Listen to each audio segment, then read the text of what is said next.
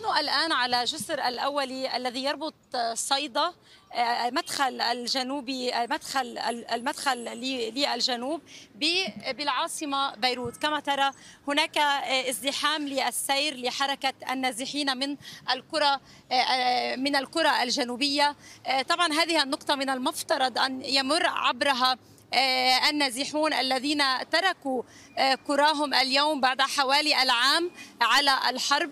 قبل قليل كان هناك يعني صف أو يعني عدد من السيارات الراكنة على جنب الطريق ولكن الجيش اللبناني طلب منهم المغادرة بسبب ازدحام السير على هذه الطريق.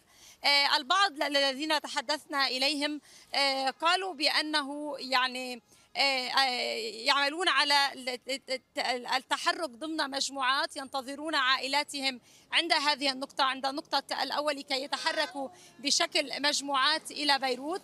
والبعض الآخر قال بأنه لا يعلم حقيقة إلى أين يذهب. كان هناك مناشدة من أحد الموجودين هنا. إن كان هناك طريقة لمعرفة إذا كان هناك لأن هناك يعني مبادرات شخصية لتأمين منازل للنازحين إضافة إلى موضوع المدارس التي تحدث عنها وزير الداخلية اليوم عدد من المدارس بالفعل تم تحضيرها بالتعاون مع وزارة التربية لاستقبال هذا العدد من النازحين. كان هناك اجتماع للجنة الطوارئ اليوم بحضور المنسق للأمم المتحدة في لبنان عمران ريزا.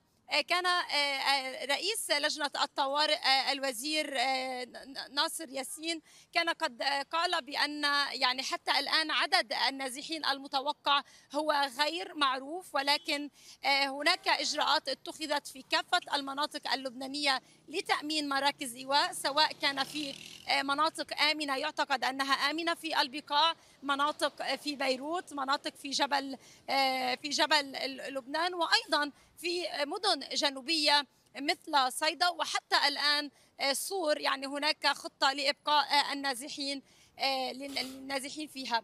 بالنسبة لموضوع تأمين الاحتياجات المادية للنازحين كان هناك اليوم تأكيد من قبل مؤسسات دولية شاركة شاركت في اجتماع لجنة الطوارئ إضافة إلى إضافة إلى المنسق منسق الأمم المتحدة في لبنان.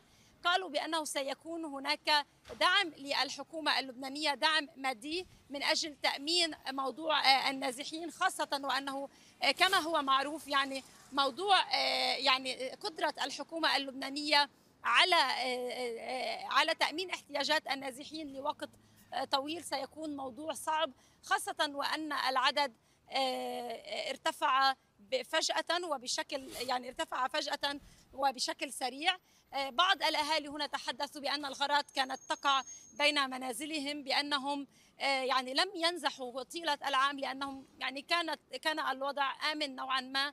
وصباحا عندما تلقوا الرسائل لم يعتقدوا بأن الأمر جدي لم يغادروا منازلهم اعتقدوا بأنهم بأن بأنهم لن يكون هناك استهداف لمدنيين ولكنهم تفاجؤوا بالغارات وبمشهد المدنيين الذين كانوا يتساقطون أمامهم.